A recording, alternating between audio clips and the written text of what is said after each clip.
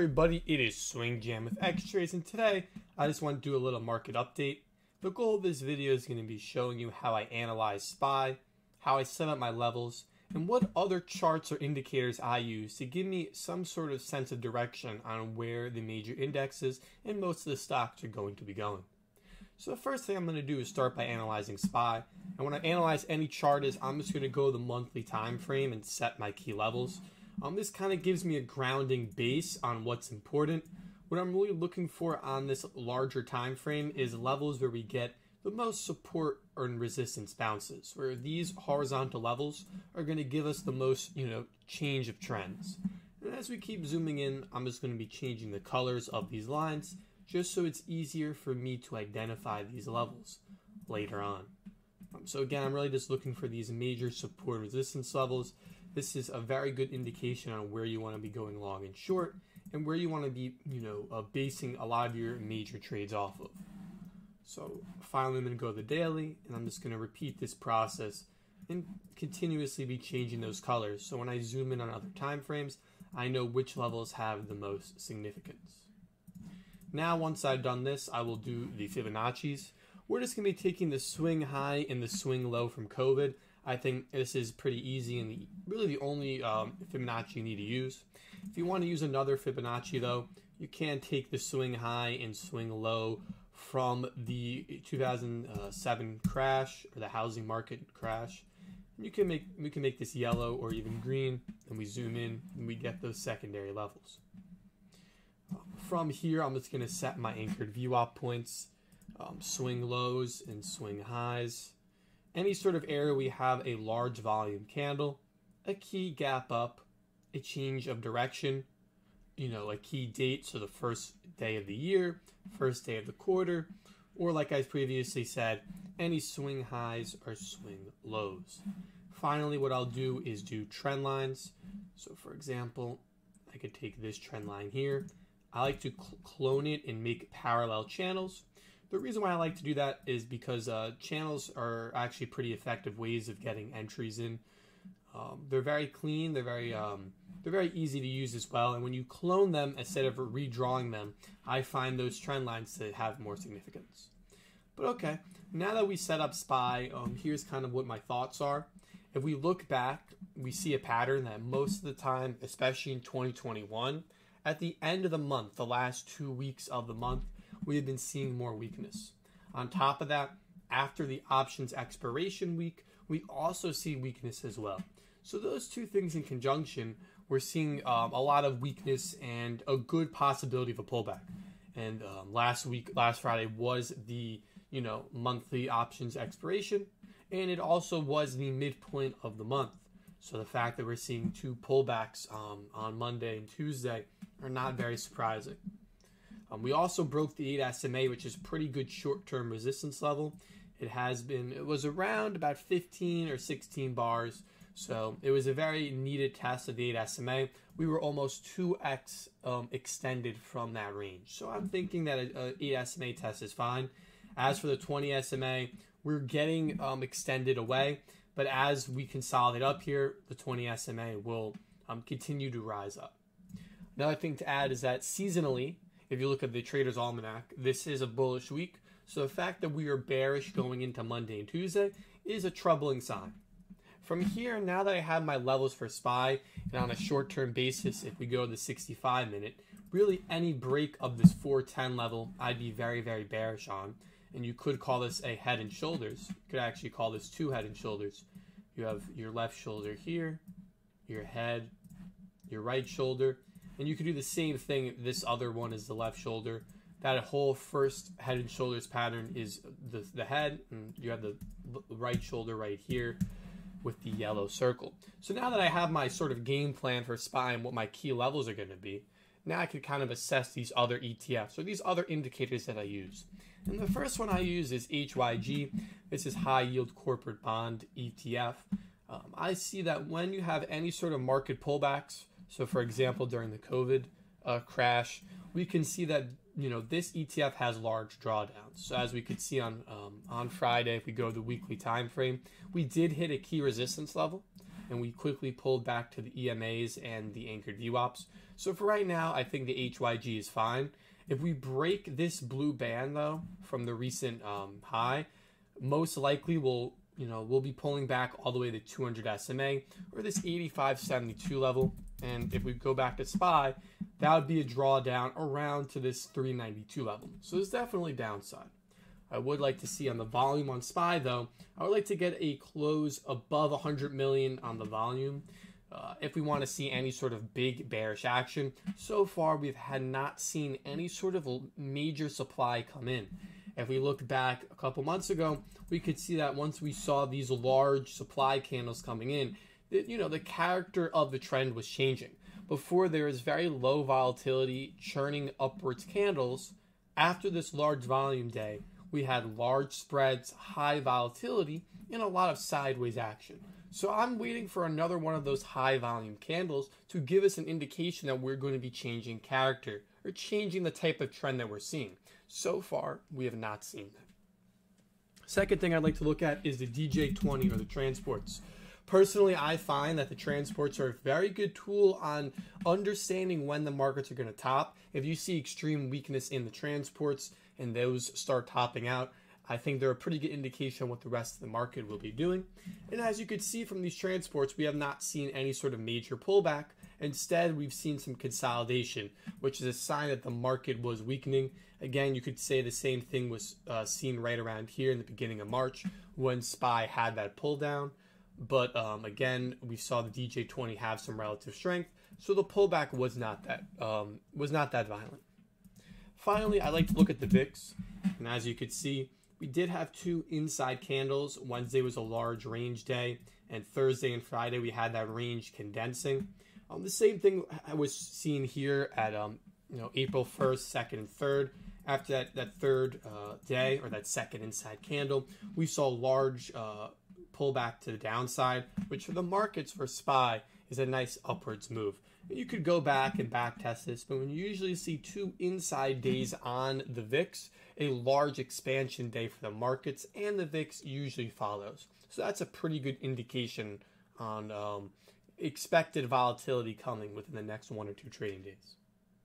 The next point I want to look at is leadership. What sectors are leading and what is lagging?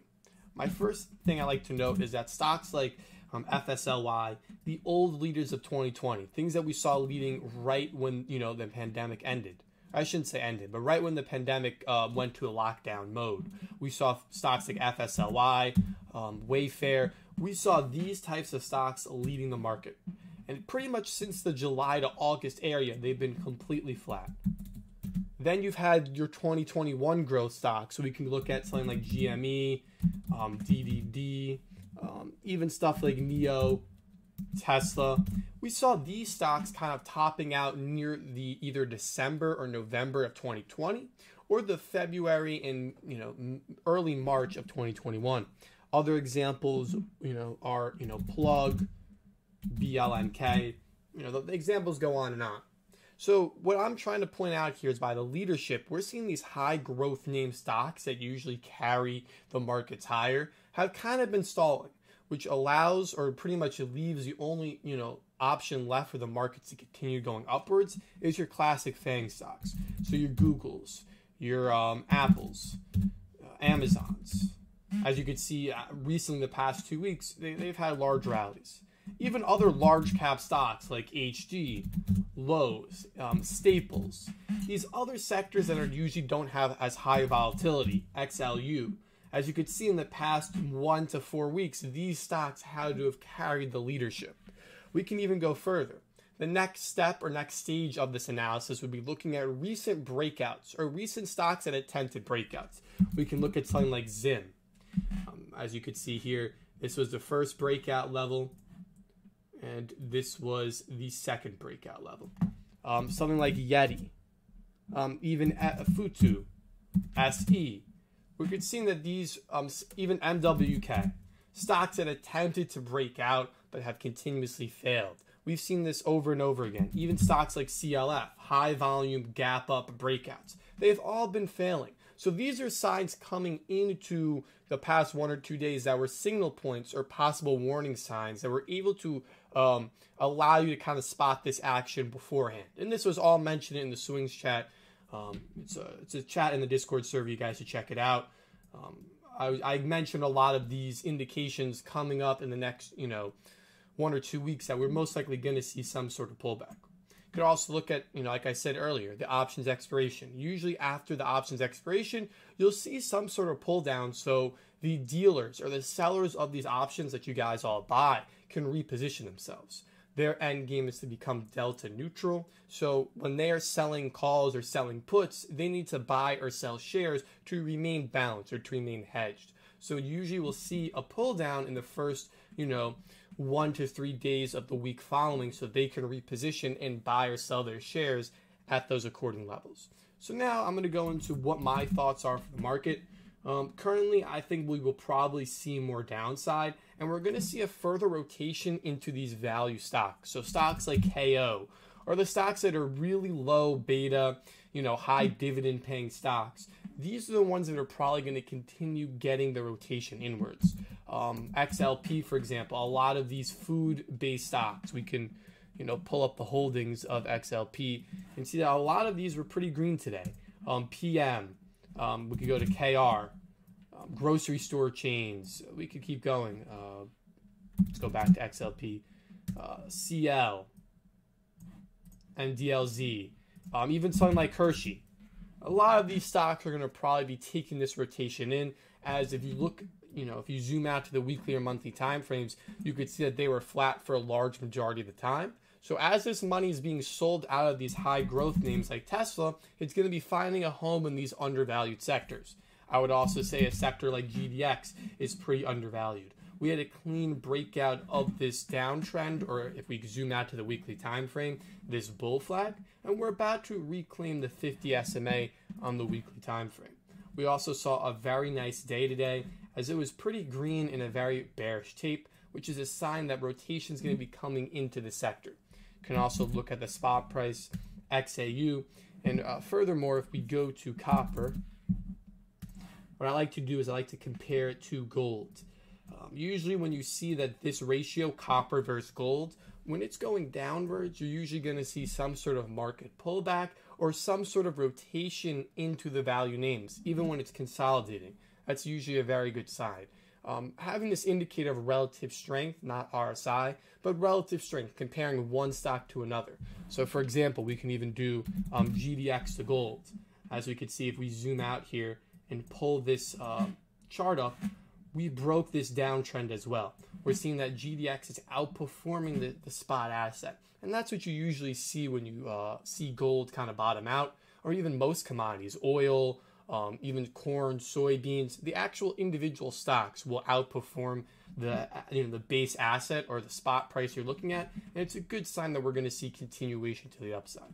But I think we'll see a continued trend throughout the rest of the month of SPY rotating outwards into more value names. And while large tech heavy ETFs such as, you know, QQQ will see further downside action. I want to pull up QQQ for a second because we'll, we kind of see a um, look above or fail or a quick, you know, pop above to new all-time highs. And now we're quickly, you know, bringing stocks downwards or we're quickly failing this breakout. You also had a testing candle on the top of the trend with high volume, which is another indication that a pullback was probably going to occur. If we go to the 65 minute time frame, we kind of have the same sort of support SPY does.